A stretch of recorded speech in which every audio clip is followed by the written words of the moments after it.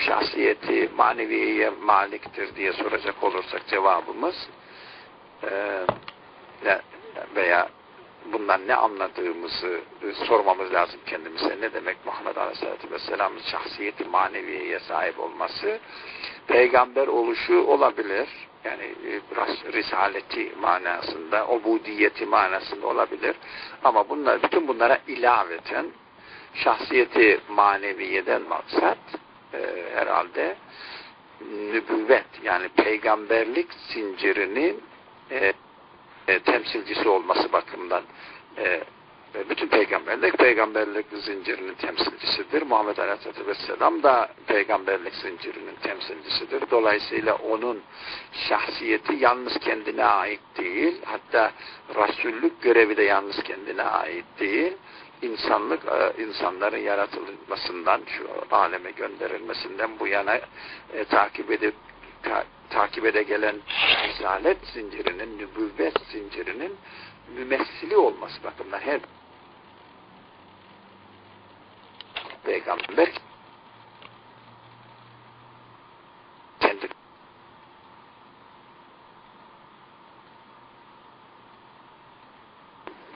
risalet zincirinin mümessilidir.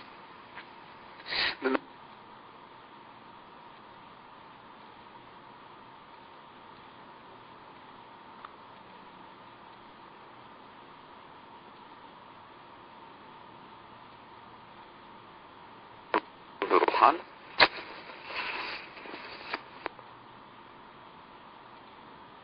anlayacağı her zaman anlayacağım hatırlayacağımız şekilde e, e, laboratuvara gidiyoruz. Bu laboratuvarda bir laboratuvar malzemesi var ve bir işlemler oluyor. Fiil gecede karıştırılıyor, reaksiyonlar e, oluyor vesaire. Bir takım e, deneyler yapılıyor. Bu laboratuvarın bir tekst kitabı olur. Yani laboratuvarda kullanılan malzemeler nelerdir, niçin yapılıyor, ne gibi sonuçlar bekleniyor, ve bu sonuçların şartları nelerdir, şöyle değiştirirseniz ne olur falan. Bir de laboratuvardır. Yani laboratuvardaki o deneyi yapan ve deneyi öğrenmek için yapan değil de öğretmek için, o deneyi öğretmek için orada bulunan bir e, öğretmen vardır diyelim. Tekst kitabı var, laboratuvar var, öğretmen var. İşte bu üçlü kainat e, vahiy, kitaplar ve e, Allah'ın konuşmasını ihtiva eden musaflar, kitaplar. E, bir de peygamberler var. Peygamberler Burhan-ı Natık'tırlar. Yalnız e, Burhan-ı Natık yani konuşan öğretmen, konuşan delil. Kainatın, Rabbi, kainatın yaratıcısını bize tanıtmada konuşan delil. E, Kur'an da konuşan delildir de aradaki aradaki fark Kur'an kelam cinsindendir. Peygamberler ise insan cinsindendir. Yani e, kainatın bir e, bir ayeti kübrası olması münasebetiyle peygamberler insan cinsinden e, bizim Rabbimizi tanıt, e, tanıtırken bir insan olarak konuşan, konuşan deyince yalnız dil gözüyle de konuşan, e, yüz hareketleriyle de konuşan, e, yapmış olduğu tercihlerle de konuşan bir bürhandır peygamberler.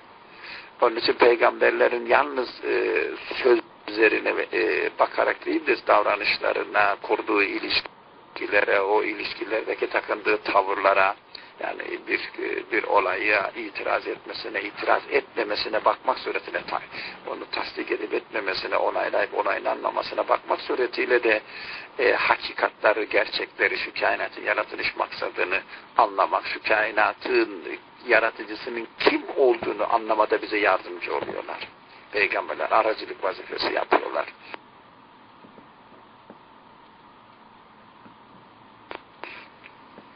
Bunun için e, peygamberlere burhan-ı natık demek e, bir ediyor. Konuşan burhan. E, davranışlara yansımış şekliyle olmadan konuşan, konuşmaktan bahsedecek olursak Kur'an çıkar karşımıza, vahiy çıkar karşımıza. İnsan beşer davranışlarının elbisesini girmiş, giyinmiş şekliyle bakacak olursa karşımıza peygamber çıkar. Yalnız fa, yapılan yani e, yani şu kainatın Halık'ının şu kainatı yaratarak yapmış olduğu konuşmanın fiili ifadesine bakacak olursak karşımızda kainat kalır. Hepsi, hepsi birden yaratıcımızı, Rabbimizi bize tanı, tanıtan vesilelerdir. Peki bu bürhan-ı natık kimdir? diye bir soru soracak olursanız diyor, size bu bürhan-ı natıkı e, şöyle ifade taşıdığı manevi şahsiyetiyle birlikte şöyle tanıtabilirim diyor. Takip eden e, paragrafta. Bu bürhan-ı natıkı size şöyle tanıtabilirim diyor. Dikkat edeceğiz. Şahsiyeti maneviyesiyle birlikte tanıtacak şimdi. E, burada e,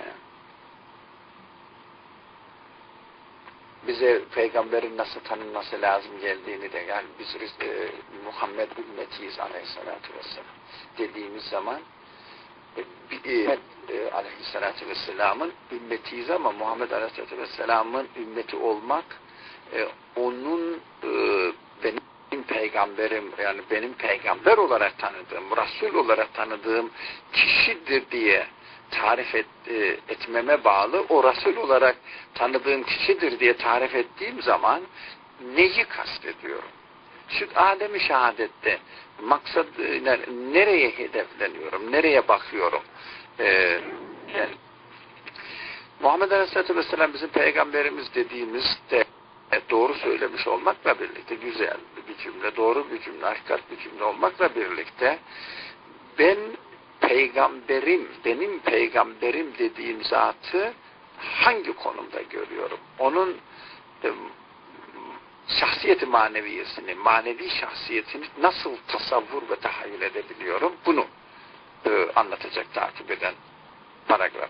Onun için sorunun içerisindeki bu şahsiyeti maneviye, burhanı natık e, ifadeleri, e, özel ifadelerdi. Bu ifadelere e, dikkat etmemiz gerekiyor diye onun için konuştuk. Yani bu ifadelerin biraz daha detaylı açıklamasını yap yapalım. E, yapma ihtiyacını bunun için hissettim.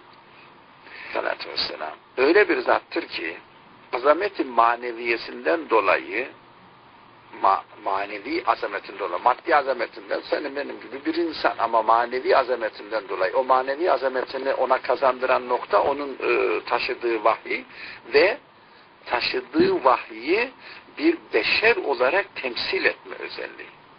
Yani o vahiy sanki o Muhammed Aleyhisselatü Vesselam'ın insaniyetinde beşer olan Muhammed Aleyhisselatü Vesselam'ın insaniyetinde e, mücessemleşiyor vahiy.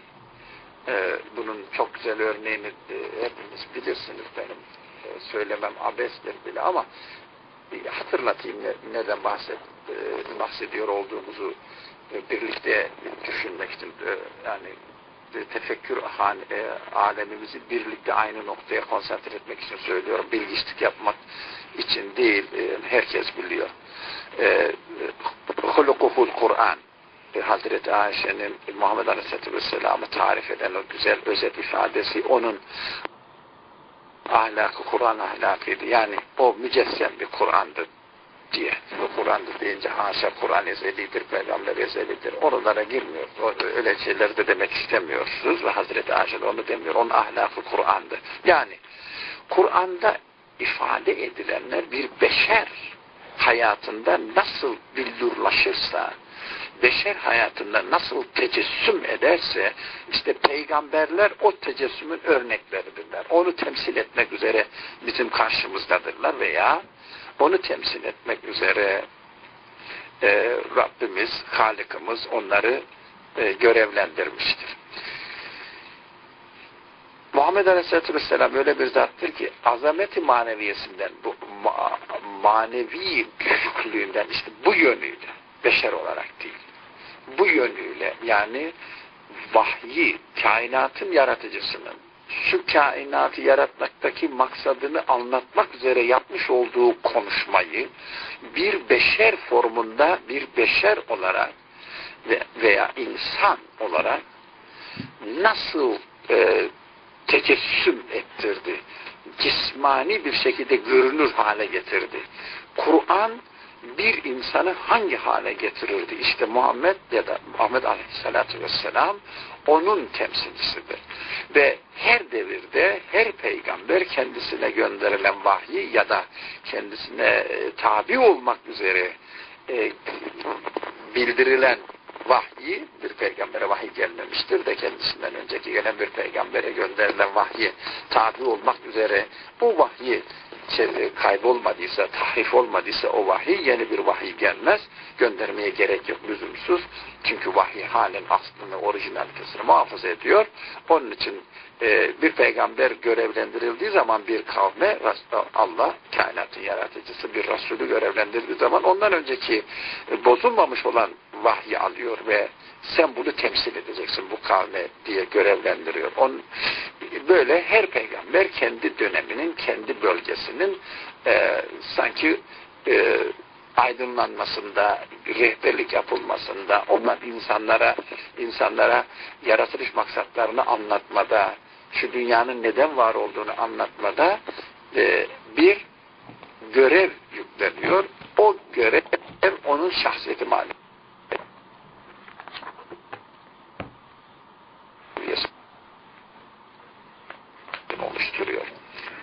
Mescid-i Aksa'yı kullanmada çok latif ifadeler var. Bir e, Aksa en kutsi. Evet ama e, bu Mescid-i Aksa demek mi? Çünkü e, İslam tarihinde veya dinler tarihinde Mescid-i Aksa bütün peygamberlerin e, geldiği yer. Bütün peygamberlerin namaz kıldığı yer. Yani bütün peygamberlerin e, ittifak ettiği yer. Muhammed Aleyhisselatü Vesselam da satı arzın e, satı arz, yeryüzü onun mescidi aksasıdır. Yani bütün peygamberlere gönderilen mesajın mesajın, vahyin e, yeryüzü satına tamamen yayılmasında Muhammed Aleyhisselatü Vesselam görevlidir yani Resul olarak belli bir kavme gelmediğini, belli bir e, sınırlı zaman e, içerisinde görevli olmadığını, sanki bütün yeryüzünü kapsayacak, bütün insanlığa e, Resul olacak mahiyette gönderildiğini ifade eden bir çok güzel e, kelime burada. E, satı arz onun mescidi aksasıdır. Yani bu çok güzel bir ifade yeryüzü onun mescidi aksasıdır. Çok güzel bir ifade. Ee, daha da düşünelim. Yeryüzü onun bir mescidi aksasıdır. Yani mescidi aksayı e, evet e, mukaddestir e, mescidi aksa bizim, e, herkes için yani bütün peygamberlere iman mescidi olan secde ettiği yerdir bize. O yer o peygamberlerin secdesini hatırlatır bize. Bunun için çok mukaddestir, güzeldir ama Muhammed Aleyhisselatü Vesselam'ın risaletiyle birlikte Mescid-i Aksa yeryüzünün tümü olmuştur. Neden?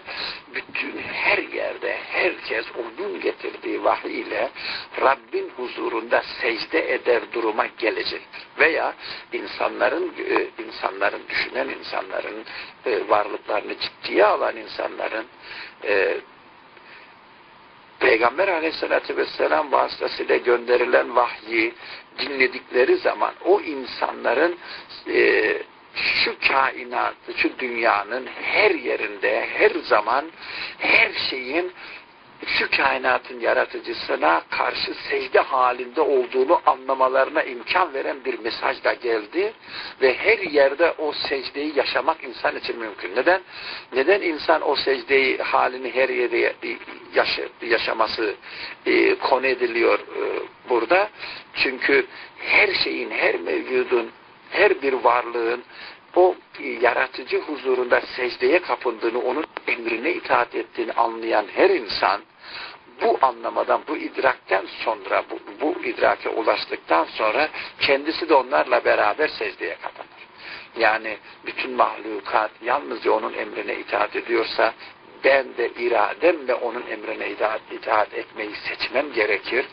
onun emrine itaat etmeyi tercih etmem gerekir der ve onun emri de sen kendinin Halık'ı olmadığını, senin bir mahluk olduğunu, kendindeki özelliklerin hiçbir kıymeti senin açından kıymeti olmadığını ancak ancak o özellikleri sana veren e, sana veren açısından kıymetli olduğunu senin fani olduğunu insanın kendisinin fani olduğunu yalnız insanı yaratan ve kainatı yaratanın baki olduğunu insanın bu mutlak özelliklere sahip olan yaratıcı karşısında e, hani, e, onun nazarında değil, yaratıcı olma bakımından onun karşısında ancak secdeye kapanarak onun kutsiyetini ifade ettiği zaman kıymet kazanabileceğini ifade eden veya bunun bir ifade tarzı olan secdeyi artık Muhammed Aleyhisselatü Vesselam'ın gelmesiyle, gönderilmesiyle, ona onun risaletiyle bütün insanlar, yeryüzündeki bütün insanlar yeryüzünün her yerini mescit yapmak suretiyle onun tebliğini uygulayabilir hale gelecekler. Uygulayabilecekler. Onun tebliği uygulanabilir olduğunu görecekler. Ve uygulayacaklar inşallah. Yani biz uygulamasak da onun uygulanabilir olduğunu anlayacağız. Her yerde, her zaman tarafından, her halükarda Rab tanımak mümkün olacak kainatın her yeri bunun şahidi olduğu gibi insan da o kainatın şehadetine katılmak suretiyle secdesini yapabilecek. Onun kulu olduğunu ifade edebilecek. Onun mukaddesiyetini, ulviyetini ifade edebilecek. Muhammed Aleyhisselatü Vesselam böyle bir şahsiyeti maneviyesiyle bütün yeryüzünü getirmekte e, getirmekle görevli olmuş bir Resul'dür. E, şahsiyeti maliki e, si bütün e, yeryüzünü kapsayan bir mescidi aksa haline getirmesiyle onun şahsiyeti maneviyesinin azameti görünüyor. E, herhalde e, inşallah an, an, anladık bunu veya e, anlaşıldı. Satı arz onun mescidi aksasıdır. Bütün peygamberlere gönderilen vahyi artık bütün yeryüzünde artık lokal olmaktan çıkartıp mevzi olmaktan çıkartıp belli bir kabilenin belli bir zamana has e, eğitimini, terbiyesini yapmak üzere gönderilmiş bir vahiy olmaktan çıkartıp Muhammed Aleyhisselatü Vesselam ile gelen vahiy, Muhammed Aleyhisselatü Vesselam'a gönderilen vahiy ile bütün yeryüzü Mescid-i Aksa haline gelmiştir. Çok güzel bir ifade ben anlatamadığımın biraz da farkındayım. Hislerimi dile getiremiyorum maalesef. Ama siz inşallah anlarsınız. Bütün yeryüzü Mescid-i Aksa olmuş. Muhammed Aleyhisselatü Vesselam'a şahsiyeti maliki, ma maneviyesi bütün yeryüzünü kapsamış. Her yeri Mescid-i Aksa yapmış ya olmasına vesile olan bir mesaj getirmiş ve o mesajı hayatında uygulamış e, demektir diye anlıyorum bu cümleyi. Mekke-i Mükerreme onun mihrabı tabi imamsa bir yerde e, mihrabı olacak orada imam olacak. Mekke-i Mükerreme dediğimiz zaman onun mihrabı çünkü Mekke'de Kabe var. Eee çok güzel ifade bunlar. E, bunlar da çok e, ince bir e, ince latif nükteler var ama ben maalesef dile getiremeyeceğimden korkuyorum. Mekke-i Mükerreme mihraptır. Medine-i Münevvere'de minber-i fazlı kemalidir. Yani Mekke-i Mükerreme'de tevhidi ilan etti. Orada Allahu Ekber dedi. Orada La ilahe illallah dedi ve secdeye kapandı herkesi de bütün yeryüzündeki insanları da o secdeye kapanabilecek e, secdeye kapanmanın gerekliliğini anlayabilecek mesaj ile muhatap etti. Bütün yeryüzündeki insanlar e, istisnaları düşünmüyoruz. Mesajı umumidir. Mesajı e, lokal değildir. Mesajı umumidir. Önemli olan o. Yani onun mesajının özünde La ilahe illallah vardı. La ilahe illallah hakikatini yeryüzündeki bütün insanlar anlayabilir. Şurada şöyle bir kavim var ve insan topluluğu var. Bunlar la ilahe illallah hakikatini anlayamazlar. Elhamdülillah hakikatini anlayamazlar diyemeyiz. Her insan anlar. Ee, biraz da o anlama geliyor Muhammed Aleyhisselatü Vesselam'ın yeryüzünü Mescid-i Aksa'ya yapması. Kabe e, Mekke-i Mükerreme onun e, mihrabı. Çünkü mihrab e, Mekke-i Mükerreme'de Kabe var. Kabe tevhidin simgesidir. Tevhidi orada ilan etti. Fakat Medine-i Münevver onun minberi fazlı kemalidir derken Medine-i Münevvere'de minber oldu. Yani nasıl ki namaz kılınır Allah'ın huzurunda secdeye kapanır insan e, alnını, burnunu, bütün gururunu, iddialarını, davasını yerle bir eder. Toprağa kapar. Toprağın üzerine koyar, toprağa iliştirir. Yani bunun değeri işte burasıdır der. Biz ona belki Türkçe argo tabirle kendisinin sıfırlandığını görür, anlatır, ifade eder secdeyle. Sonra da mihraba çıkar. Yani bu yeryüzünde e, alnını yere koymak suretiyle hiçbir şeyden üstün olmadığını ifade eden insan sonra da bir yüksek makama çıkar. Orada o yüksek makam onun minberidir. Minber de dikkat ederse hutbe okunur. Ee, hutbesini okuyor. Hatip hutbesini okuyor. Ne hutbesi, ne hutbesi okunur minberede? Hutbe okumak ne demek? Kainatın yaratıcısının, bizim yaratıcımızın bizim için gönderdiği mesajın ilan edilmesidir, tebliğ edilmesidir. Onun açıklanmasıdır. o mesajın insanlara ulaştırılmasıdır. Medine, Kur'an mesajının insanlara ulaştırıldığı, ilan edildiği, tatbikata konulup, uygulamaya konulup, işte Kur'an ile beklenen insanlar böyle insanlardır. Kur'an'ın terbiye ettiği insanlar böyle insanlardır. Kur'an'ın terbiye ettiği bir toplum böyle bir toplumdur diye sanki sergilenmesinin demonstrasyonunun yapıldığı yerdir. Onun için de bir minber, Mekke'ye de mihrap gözüyle bakmak çok güzel, çok latif bir nüktedir, bir benzetmedir. Çok güzel bir nüktedir. Biz Mekke'de secdeye kapanırız, La ilahe illallah deriz. Sonra La ilahe illallah'ı hakikatini hayatımıza taşıyarak yaşamak suretiyle Medine'de işte La ilahe illallah'a inanan insanlar böyle olurlar. La ilahe illallah'a inanmış insanların, onun gerçeğini anlamış insanların teşkil ettiği, oluşturduğu bir toplumda işte böyle olur diye sergilenmesinin yapıldığı yerde Medine'dir. Resul-i Ekrem Aleyhisselatü Vesselam'ın hayatında Medine'de İslam tatbikata konuldu. Vahiy ile gelen hakikatler, uygulamalar, kurallar, e, tanzimler, düzenlemeler uygulamaya konuldu. İşte hutbe İslam'ın hakikatlarının edildiği yerdir. Onun için hutbelerde Kur'an'ın ahkamının, Kur'an'ın hakikatlarının ilanından başka bir şey konuşulması yasaktır, konuşulamaz. Konuşulursa yanlış yapılmış olur, o hutbe olmaktan çıkar. Hutbe ah, e, Said Nursi'nin tarifiyle çok güzel bir tarif. Buradaki anlayışa uygun bir tarif e, Muhammed Aleyhisselatü Vesselam'ın şahsiyeti manevisinin tanımlanmasına tam mutabık gelen bir tarif. Hutbe ahkam-ı Kur'aniyenin tebliğ edildiği yerdir. Şahsi kanaatlerin değil. Şahsi endişelerin değil. Belli lokal bir toplumun belli küçük problemlerinin Kur'an süzgecinden geçmeden ilan edildiği, anlatıldığı, tartışıldığı, gündeme getirildiği yer değil.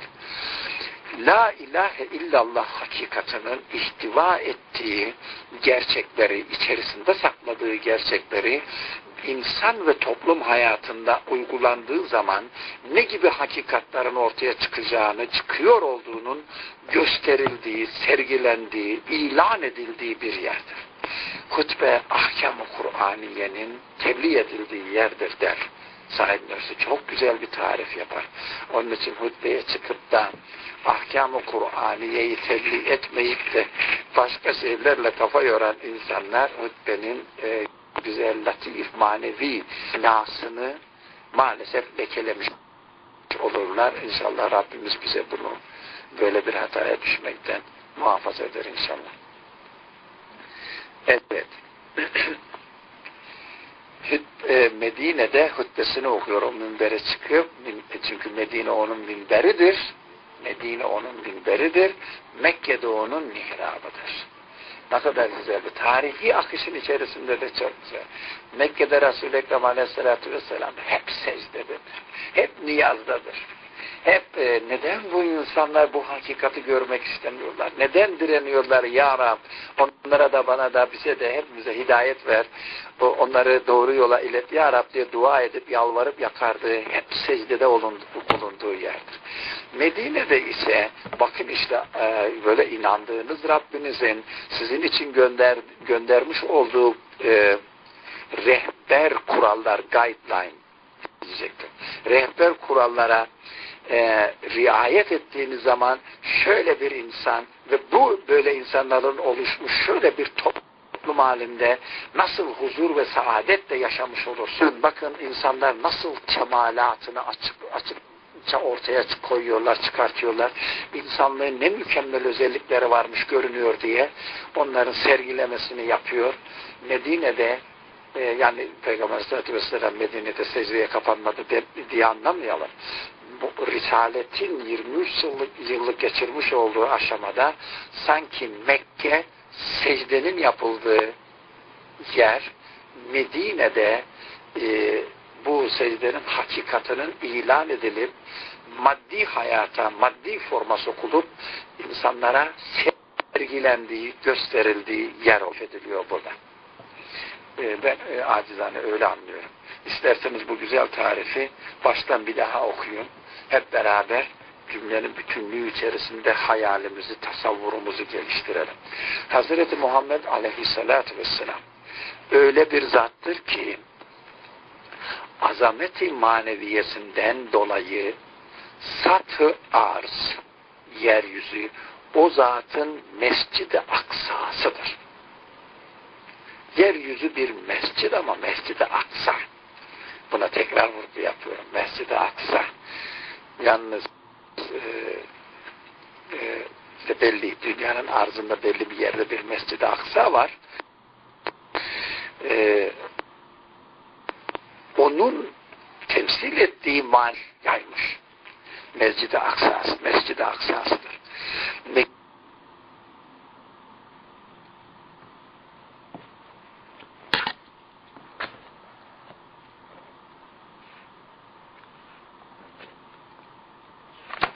Mükerreme kemalidir. Tasavvur itibariyle çok latif, çok hakikatli bir tasavvurdur. Bize çok şey söylüyor.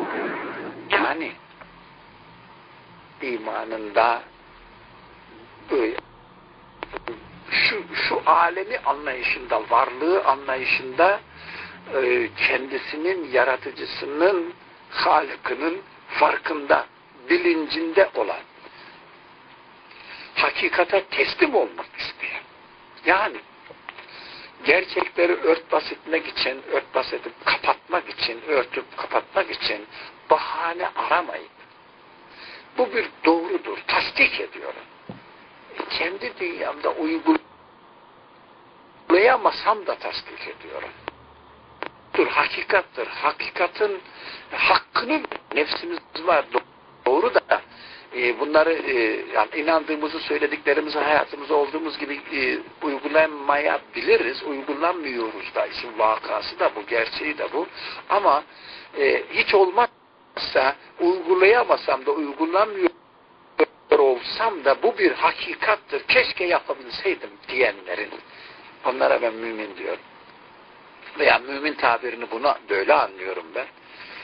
Ee, cemaat-i müminine en son ve en ali imam ve nevi beşerin en son ve en ali imam imam Çünkü mihrapta duruyor onların önderi. E, ve Nevi Beşer'in hatibi şehiridir. Yani çok meşhur hatibidir. Nevi Beşer'in hatibi, nevi, yani beşeriyetin e, içerdiği hakikati dile getirip ilan eden zattır. O imam, insanlığın imamı. İyi müminlerin imamı, Nevi Beşer'in de hatibi şehiridir, meşhur hatibidir. Saadet düsturlarını beyan ediyor.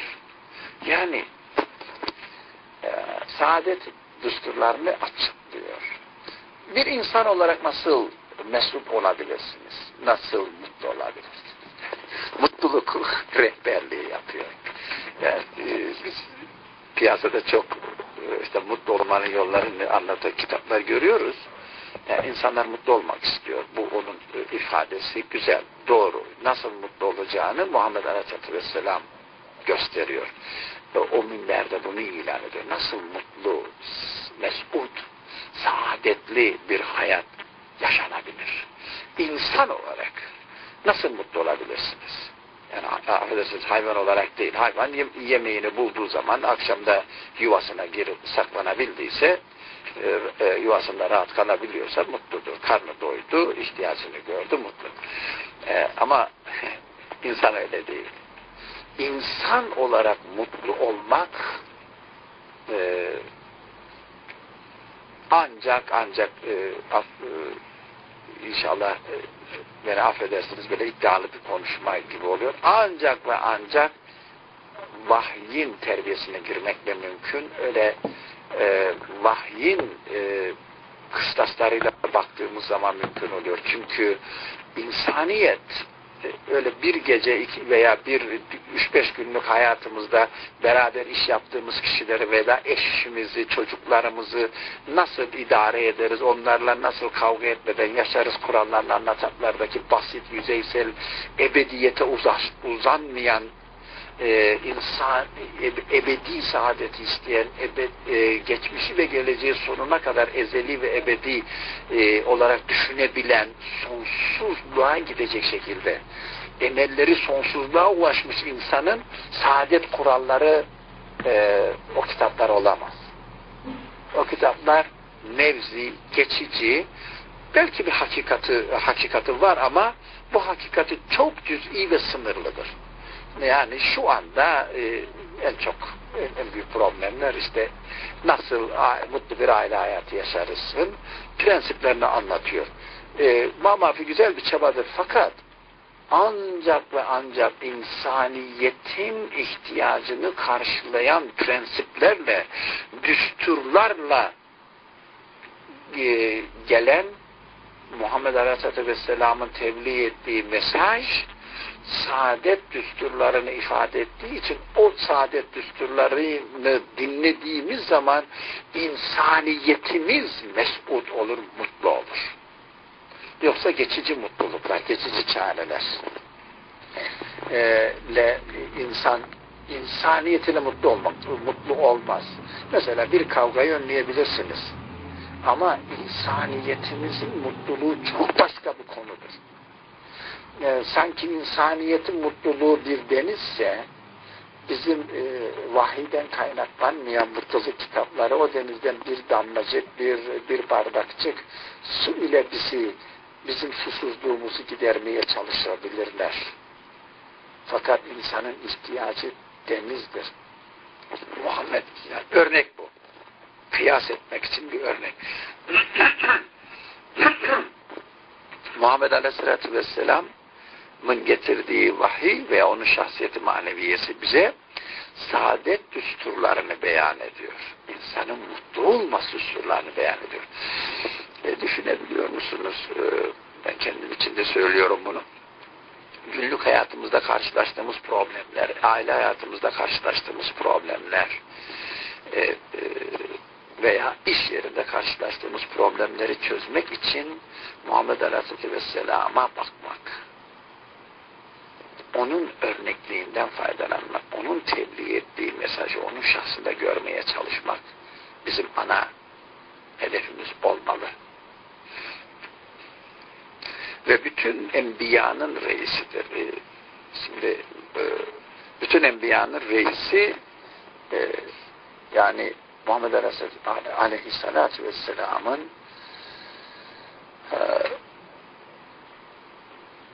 e, pozisyonu, mevkii bütün enbiyanın reisi.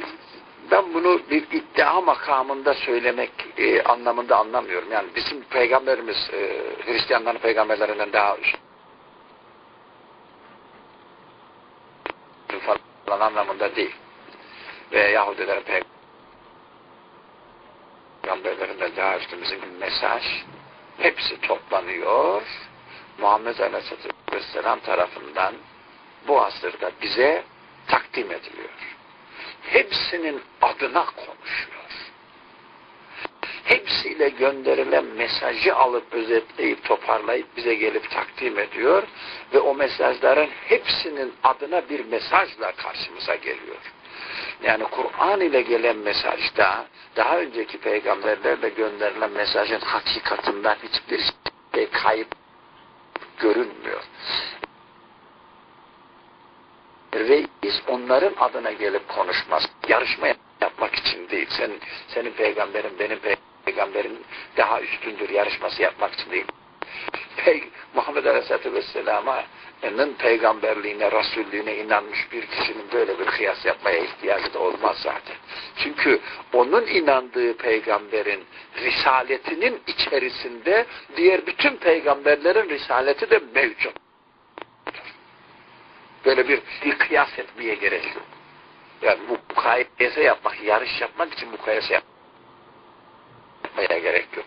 Onun için bu tabiri güzel anlayacağız. Ve bütün Muhammed Aleyhisselatü Vesselam konuştuğu zaman Muhammed Aleyhisselatü Vesselam bana bir Resul olarak muhatap olduğu zaman benim dünyama Resul olarak geldiği zaman ben onun gerisinde onun getirdiği mesajın gerisinde diğer bütün peygamberlere gelmiş mesajın da gündemiş olduğunu e, söylüyor.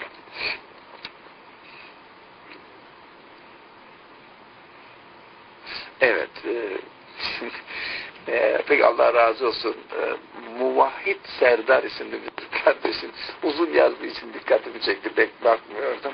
Çok güzel e, bir noktaya e, siz de temas etmiş oluyorsunuz böyle. Yani la nuferruku beyne ahadim min rusulih e, hakikatının içerisinde onun risaletini ve onun reisliğini anlamak lazım ve takip eden cümledeki kullanılan kelimelere de bu noktada çok dikkat edeceğiz. Bütün e, enbiyanın reisidir. Onları teskiye ve tasdik ediyor. Yani evet onlar doğru söylediler diyor. Onlar kusursuzdular diyor, teskiye ediyor. Onların mesajı hak idi diyor. Bakın diyor onların mesajının hak olduğuna dair size deliller getiriyorum diyor. Yani bir e, Müslüman Hazreti İsa ile Musa ile İbrahim ile İshak ile e, İsmail ile iftihar eder. Ve ister ki Hazreti İsa'nın mesajına tabi olmuş bir kişi ya da kişiler Muhammed Aleyhisselatü Vesselam'ın mesajında da o mesajın özünü bulabilsinler de onlar da iftihar etsinler de arzu eder. Onları dışlamaz, içerir. Ama e, yanlışlarını varsa şahsi yanlışlarımız bizim de var. Onların da var. Şahsi yanlışları kimse bunu da kabul etmen gerekir demiyor zaten. Biz de demiyoruz. Onlar da dememeliler. Derlerse hata olur. Kendilerinin hatasıdır. Evet. Çünkü dini dini yani Muhammed Aleyhisselatü Vesselam'ın getirdiği mesajın temsil, mesajı temsil eden e, bu o dini bütününü birden temsil ediyor. Din deyince hepsi giriyor. Yani Kur'an, Kur'an'la gelen mesaj, Kur'an'ı temsil eden Resul, Rasullerin Kur'an'ı bir beşer, bir insan formunda temsil edişleri ve bizim hayatımıza tam bir düsturlar bütünü olarak girişi, yani hayatımı ona göre yaşamam benim dinim oluyor. Onun için biraz da din tabiri çok çok kapsamlı bir tabir. E, işte din deyinden gelir, borç anlamına gelir, yol anlamına gelir, meslek anlamına gelir, e, lügat tabirleri bunlar. Hepsi doğru. Bunların hiçbirisine hayır diyecek halimiz yok. Vaka bu çünkü lügatta o anlamlara da kullanılmak üzere e, e, insanlar tarafından kullanılmış, o anlamlara gelmek üzere insanlar tarafından kullanılmış bir kelime. E, Rabbimiz de bize din demek diyor. E, onun dini o, o dini çünkü dini yani onun getirdiği bu bütün hepsi birden bütün dinlerin esasatına camidir. Tüm dinlerin hakikattaki olan esasatına camidir. Onun için e, onların reisi olarak konuşabilir, onları tasdik eder olarak konuşabilir. Burada e, Hatemül Enbiya e, tabiri e, Kur'an'i bir tabirdir. Hatemül Enbiya'yı sayılırsa çok latif bir şekilde, çok ince bir şekilde, çok dikkatli bir şekilde madem o Hatemül Enbiya'dır, bütün evliyanın varisidir diye ifade eder. Ne kadar güzel bir latif anlayış. İnsan e, bu anlayışları e, kendisine benimsediği zaman, farkına vardığı zaman nerede duracağını, kiminle nasıl ilişki kuracağını, kimlere karşı nasıl tavır takınacağını çok daha güzel anlıyor. Muhammed Aleyhisselatü Vesselam Hatemül Enbiya'dır. Evet peygamberlerin sonuncusudur. E, peygamberlerin sonuncusu ama bu ne demek? Son olduysa ne olmuş yani? Yani sonsa son e, ne olmuş? Demek kendisinden önce gelen bütün peygamberlere gönderilen vahyin hepsinin varisidir demek diye anlıyor sayılır. Yani onlardan gelen vahiyler, onlarla gönderilen vahiylerin e, hakikatlarını hepsini o onların hakikatlarının hepsinin Muhammed Aleyhisselatü Vesselam ile gönderilen vahyin içerisinde mündemiş olduğunu, o peygamberlerin güzel örneklerini Muhammed Aleyhisselatü Vesselam'ın hayatında da hep görmemiz gerektiğini. Zaten Kur'an-ı Kerim'in diğer bütün peygamberlerin ibret numa, ibret satan o güzel hatıralarını içererek bize muhatap olması, anlatması da bu hakikatin e, görünen kısmıdır. Neden Hazreti İbrahim'in hatırasını anlatıyor, Musa'nın hatırasını anlatıyor. O güzel, latif, nükteler, nükteler dolu olan Hazreti Yusuf'un, Yusuf Aleyhisselam'ın hatıralarını neden anlatıyor? Hep onların hakikatlarını içeren bir vahiy ile geldi Muhammed Aleyhisselatü Vesselam. O vahiy, biz, o, o vahiyde o hatıralar da mündemiş olduğu için o hatıraları da içerisine alarak bize gelmek suretiyle onların varisi olan, onları içeren, onları dışlamayan e, bütün onların getirdiği hakikatların esaslarını cami olan bir dini temsil etmek üzere Muhammed Aleyhisselatü Vesselam gönderildi. Diyor. Bu üstünlük aşağılık anlamına gelmez. Bu mukayese yapmaya hiç gerek yok. Yani karşılaştırma yapmaya hiç gerek yok. Daha iyi, daha kötü demeye hiç gerek yok. Daha üstün, daha az üstün demeye hiç gerek yok. Yalnızca bizim Peygamber Muhammed Aleyhissalatu vesselam ile gönderilen mesajın içerisinde diğer bütün peygamberlerde gönderilen mesajın esasatı camidir diye bilip biz ona göre konumumuzu belirleyeceğiz. Yani e, başka dinlerden birisini gördüğümüz zaman onların sapıklıkları bir yana aslında diyeceğiz ki senin dininin hakikatına ben e, zaten benim dinimde o var içeriyorum. Gel sen dinin hakikatini öğren diyeceğiz. Dininin gerçeğini öğren. E, yorumlarla bozmaya çalışma diyeceğiz. E, ilişki tarzımız da böyle olacak. Onları dinlerinin hakikatlarına çağırmak suretiyle İslam'a çağırmış olacağız. Yarış yapmayacağız. Onu demek istiyorum. Ben öyle anlıyorum. Yarış yapmanın bir alemi yok. Yanlış yanlıştır. Benim de yanlışım olsa, Yahudinin de Hristiyanın da yanlışı olsa yanlıştır. Ama doğrularımızda birbirimizi teşvik edip doğrularımızı içe, bir bir İslamiyet'in onların doğrularını içerdiğini de gösterip e, ilan etmemiz lazım. Bu da e, bir başka nokta. E, bu cümlenin bana hatırlattığı bir hakikat gibi göründü. Çünkü dini bütün dinlerin esasatına camidir. Evet, tenvir ediyor. Evliyadan ne anlıyorsan, veli zatlar ne anlıyorsan, yani veli zatlar Türkçe'de biz e, Allah dostları diyoruz. Bu aslında güzel bir ifade Allah dostları. Allah'ın dostları ne kadar güzel bir şey. Ne demek? Allah ile kendisinin arasına hiçbir sebebi, hiçbir esbabı, hiçbir mahluku sokmayan insan demek. Ne kadar güzel. Evliya zaten o demek.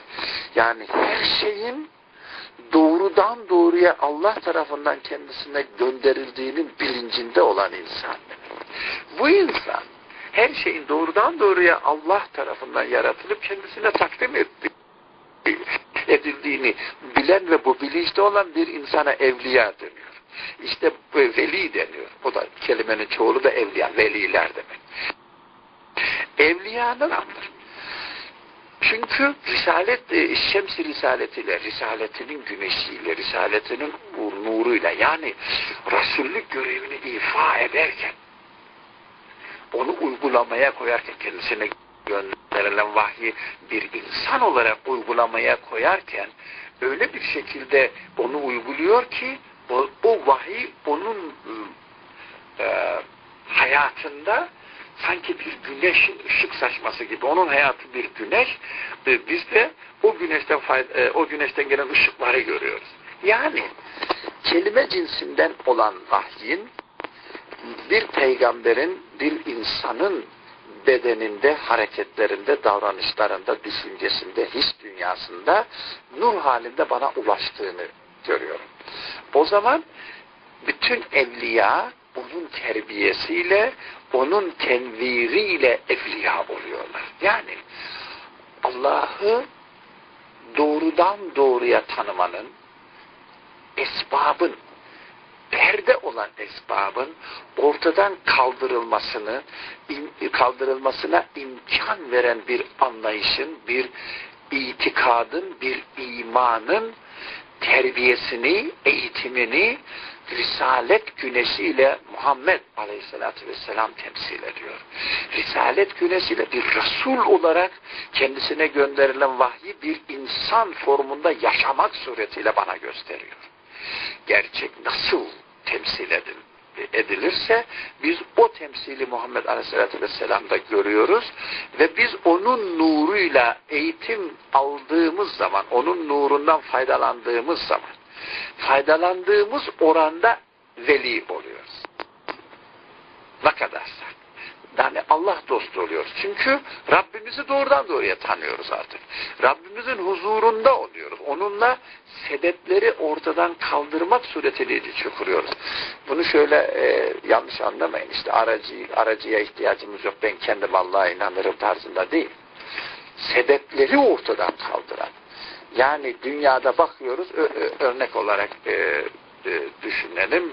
Ne her zaman e, en çok aklımıza geliyor. Bunlar bir ikram-ı ilahidir. Rabbimizin bize konuşmasıdır. Veya güzel bir güneş batım ya da güneş doğma manzarası hoşumuza giden bir manzara veya bir vadide o yeşil, yeşilliklerin, suyun vesairenin çok güzel bir manzara teşkil edip bizim hoşumuza gidecek, bizim sevebileceğimiz halde yaratılışını gördüğümüzde burada sebepleri görüyoruz gibi görüyoruz. Odun yığını görüyoruz gibi, et, kemik parçaları görüyoruz gibi ama onun gerisinde Halık'ımızın bizi ne kadar sevdiğini, bize nasıl ikram ve ihsanda bulunduğunu ifade eden bir manzara, bir bir e, yaratılış e, yaratmak suretiyle Rabbimizi bize tanıtan bir manzarayla karşı karşıya kalıyoruz. İşte bu e, yaratılışın maddesinin ötesinde onun bize taşıdığı mesajı okuya, okumak suretiyle kendimizi sanki o manzaranın karşısında değil de kendisini bana tanıtan Rabbimin esmasının tecellisi karşısında görüyorum. Dediğim anda işte Rabbimle doğrudan doğruya muhatap oluyorum, ilişki kuruyorum.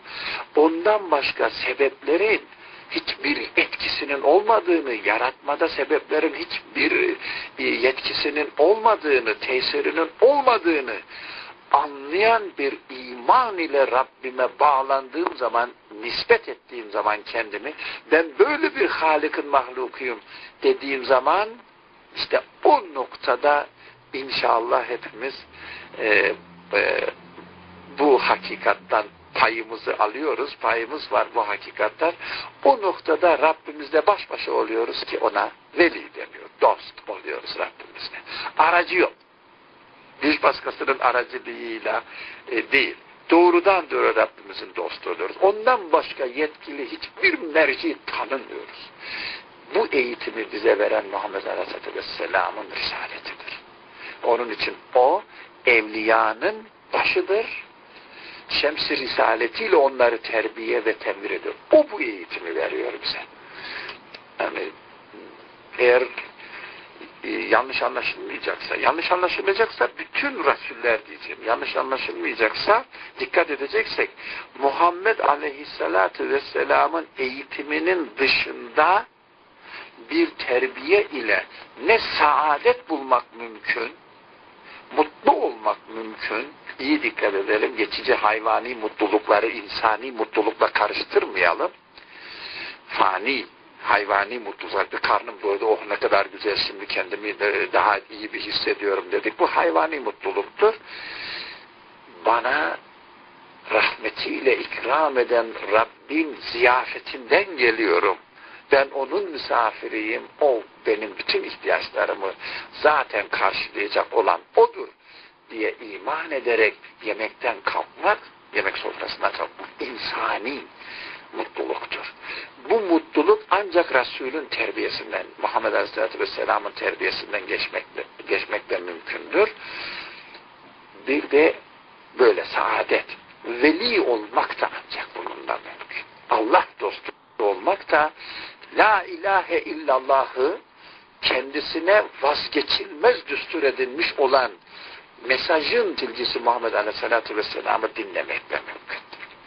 La ilahe illallah mesajının yani La ilahe illallah ölçüsünden geçmemiş olan hiçbir öğreti, hiçbir doktrin, hiçbir düşünce beni Allah dostu yapamaz. Onun için Muhammed Aleyhisselatü Vesselam La ilahe illallah mesajını peygamberlerle gönderilmiş olan mesajın madem ki şu devirde bizim için mümessilliğini, reisliğini yapıyor, onlar adına bize bütün o mesajın hakikatlarını takdim ediyor, onun yolundan başka yol ile evliya olmak, veli olmak mümkün değildir. Ee, yani Allah dostu olmak, Allah'ın misafiri olduğunun, onun dostu olduğunun e, bilinciyle yaşamak mümkün değildir. Kendimizi küçük, geçici e, ve çok lokal mutluluklarla, mutluluk e, enstantaneleri kandırmayalım. Buna çok dikkat, dikkat etmemiz gerekiyor.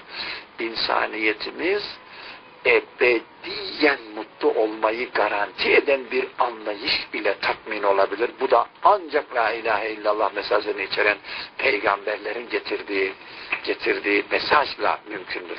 Bu devirde de o mesajı Muhammed Aleyhisselatü Vesselam temsil ediyor. Benim için o en son reistir, bana o getirdi. Bütün o mesajları içeren e, mesajı bana o getirdi ve ben onun mesajına tabiyim inşallah.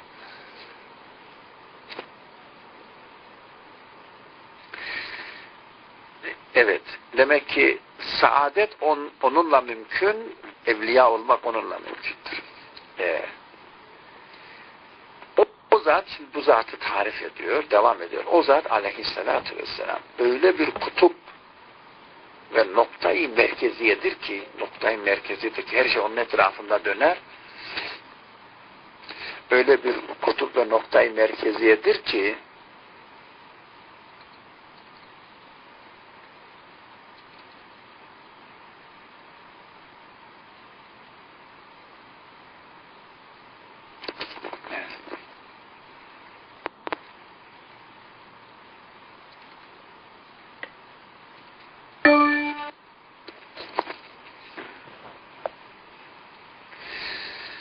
onun halkayı zikrinde onun halkayı zikrinde bulunan bütün enbiya-i ahyar en hayırlı nebiler ebrar-ı sadıkîn on tefik ve kelam-ı nutkuyla natıktırlar.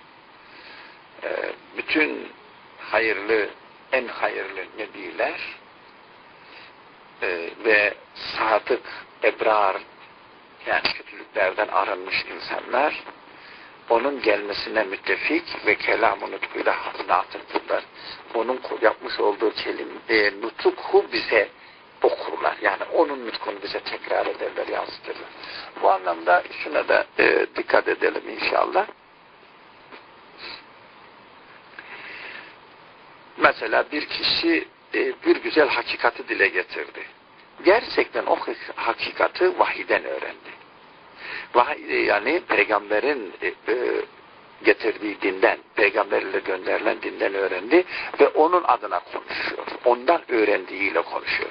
Onun için biz bir kişiyi dinlerken, güzel hakikatli sözler söyleyen bir kişiyi dinlerken unutmayacağız. Farkın, yani bunu inşallah kendimize iyi öğreteceğiz. Bu hakikat Muhammed Aleyhisselatü Vesselam'ın terbiyesinden çıkarak geldi ve bu hakikati biz aslında orijinalinde Muhammed Aleyhisselatü Vesselam'a borçluyuz. Onun için böyle bir hakikati dinlediğimiz zaman hemen Resul-i Ekrem Aleyhisselatü Vesselam'a ne kadar da güzel öğretmişsin diye inşallah e, Muhammed Aleyhisselatü Vesselam'a salat ve selam getirmemiz lazım. Evet. Bütün ebrar-ı sadıkın onun gelmesine müttefik ve kelam-ı nutkuyla natıktırlar. Yani onun gelmesine müttefiktirler. Bunu hem tarihi anlamda e, yani e, hakikaten e, faziletli insanlar böyle bir peygamberin gelmesi gerektiğini o tarihi anlamda Muhammed Aleyhisselatü Vesselam e, gelmeden önce Resul olarak gönderilmeden önce haber verdiler gönderildi. E, e, haber verdiler e, onu beklediler. Hem de bu tarihi anlamda, tarihi vaka olarak böyle oldu. Hem de biz şöyle düşünelim. Gerçekten insaniyetimizi kullandığımızda insani duygularımızı harekete getirip de o hiç kaçınılmaz olan ve her zaman sormamız ve aklımızda bulundurmamız bulundurmamız e, ha, Evet Allah razı olsun. Ben o zaman kara tavuklu 1960 diye arkadaş açmıyoruz zaten. Zaten açmıyoruz da. Ee, tabii sizin şahsınızı tanımıyoruz. Herkesin şahsına hürmetimiz var. Fakat böyle e, hoş olmayan gereksiz insanları, gereksiz işlerle uğraşan kimseleri e, odamızda olmasını isteriz.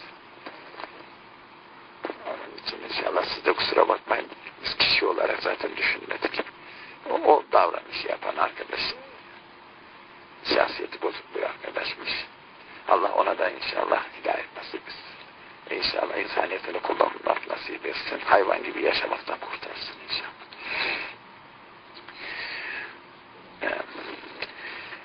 Ebrar-ı Sadık'ın onun gelmesine müttefik ve kelamı nutkuyla natıktır.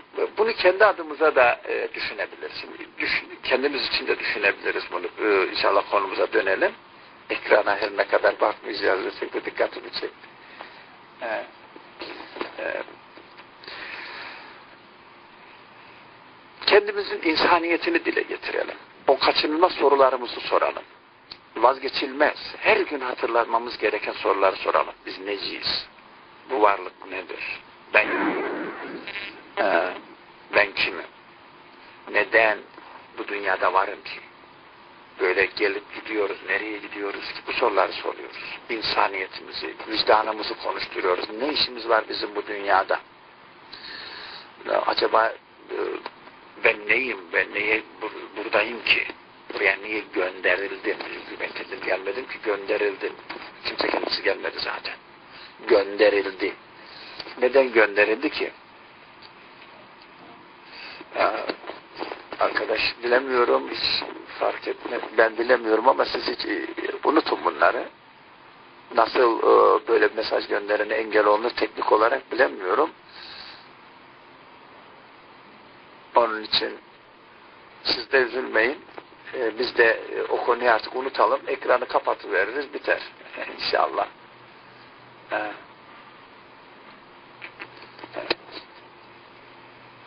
Oldu.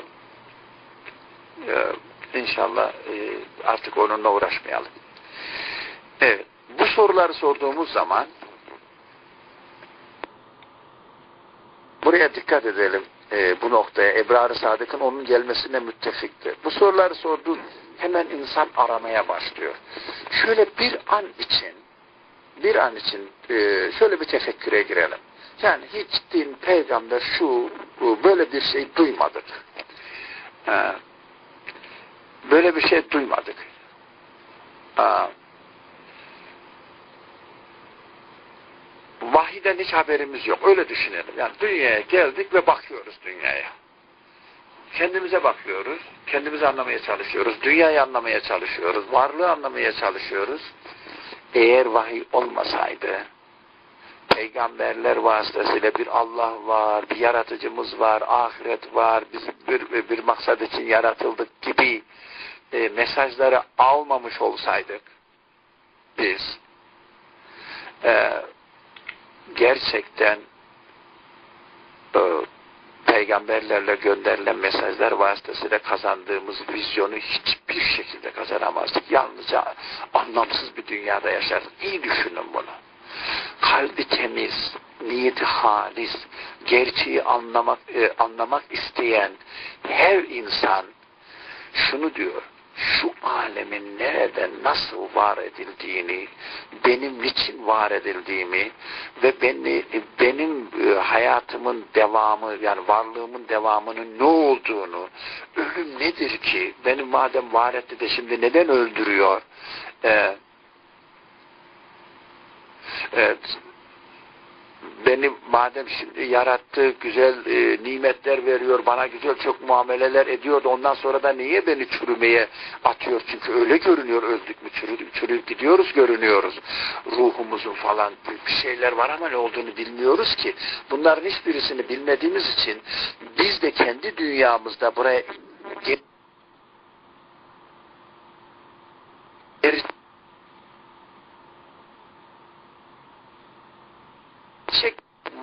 mahiyetini bana anlatacak bir kaynak olma talep bu cümlenin içerisinde yatıyor. Ebrar-ı saadetin onun gelmesine müttefik ve kelam-ı nutkuyla natıktırlar. Böyle bir mesaj gelmesi lazım. Böyle bir bir mesaj olması lazım. O sizi bu siz bu dünyada e, yaratılarsınız. Hepiniz yaratılmışsınız.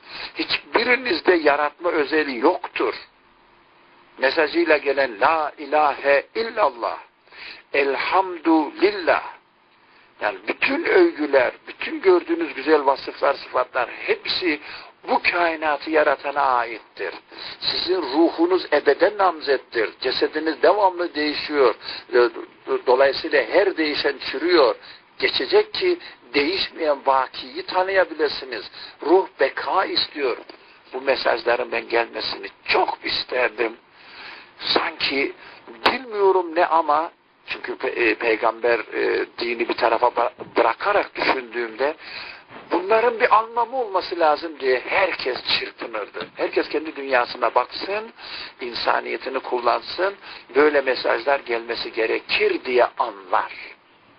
İşte bu anlayış, bu hal Muhammed Aleyhisselatü Vesselam'ın gelmesinde müttefik, insanlığın müttefik olduğunu gösteriyor. Bütün insanlar hayatımın bir manası olması lazım. Nedir bu böyle varlık? Niye biz buradayız ki diyen insanlar sanki bu sorularının tatmin edici gerçek cevabının gelmesine dua eden insanlardır. Onun için Muhammed Aleyhisselatü Vesselam ile gönderilen mesajın böyle bütün ebrar-ı sadikin tarafından gelmesi beklenen bir mesaj. Evet biz bunu bekliyorduk diye onlar da o mesajı evet la ilahe illallah doğrudur, elhamdülillah doğrudur diye onun konuşmasıyla aynen konuşup dile getirip ilan eden natıklardır.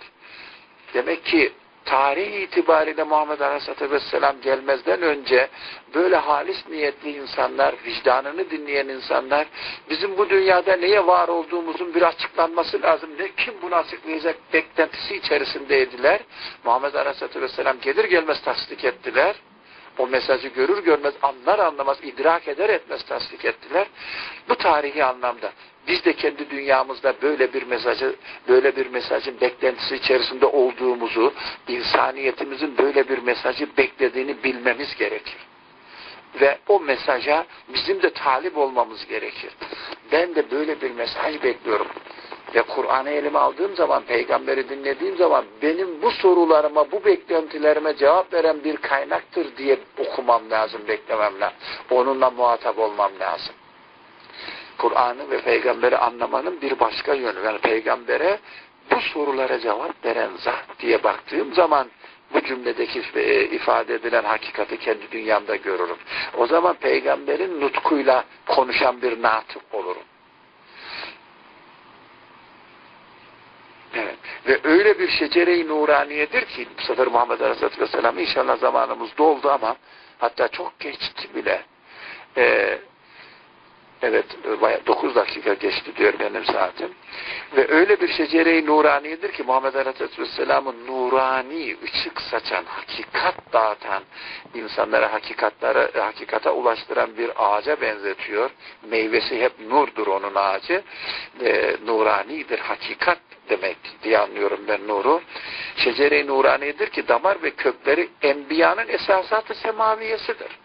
Ee, biraz önceki söylediği e, tarife, yapmış olduğu tarife e, dönmüş oldu. Bütün dinlerin esasatını cami onun mesajı diye. Yani o ağacın kökü daha önceki tüm peygamberlere gönderilen mesaj, mesajların mesajları içerir. Semavi mesajlar içerir. Yani beşeri düşünceler değil kainatın yaratıcısının bildirdiği esasları içerir. Dal ve budakları o nurani ağacın kökü diğer bütün peygamberlerin mesajı demektir. Dal ve budakları evliyanın marifi ilhamiyesidir. Yani onun eğitiminden geçtikten sonra ortaya koydukları, ifade ettikleri marifetleridir. İlhamını onun mesajından alır. Evliyanın mesajı. İşte evliya da burada da, o nurani e, e, risalet ağacının sanki meyveleri, dalları, yaprakları evliyanın marifetleridir. Dolayısıyla Muhammed Aleyhisselatü Vesselam'ın risaletiyle getirdiği mesajın, risaletiyle temsil ettiği mesajın eğitiminden geçmiş olan bir zat sanki o mesajın bir meyvesidir bizim için. Yani bu, e, bu zatları iyi tanımak lazım. Çünkü ağaç meyvesi için vardır. Yani evliya meyvesi vermeyecekse e, o ağaç biraz yani o meyveyi vermedi diye işe yaramaz değil de benim için bir şey ifade etmez. Benim için bir şey ifade etsin istiyorsak o ağacın yetiştirdiği meyvelerden faydalanmayı bilmemiz lazım. Ondan sonra inşallah biz de o ağacın nuruyla nurlanmaya başlarız o ağaca sanki katılmış oluruz o meyveyi kendimizi içerimize almak suretiyle. Peygamber aleyhissalatü vesselamın terbiyesinden geçmiş olan e, evliyanın e, inşallah meyvesiyle meyvelerinden faydalanan onlar o meyvelerle beslenen insanlar olalım. Böylece de o şecere-i nuraniye e, Muhammediye'ye ümmet olarak katılmış oluruz inşallah. Yani onun okulunda öğrenci olmuş oluruz. Onun eğitim e, e, gelecek e, cumartesi günü yine aynı saatte görüşmek üzere buluşuruz. Rabbimiz sizden razı olsun. Vaktinizi aldım.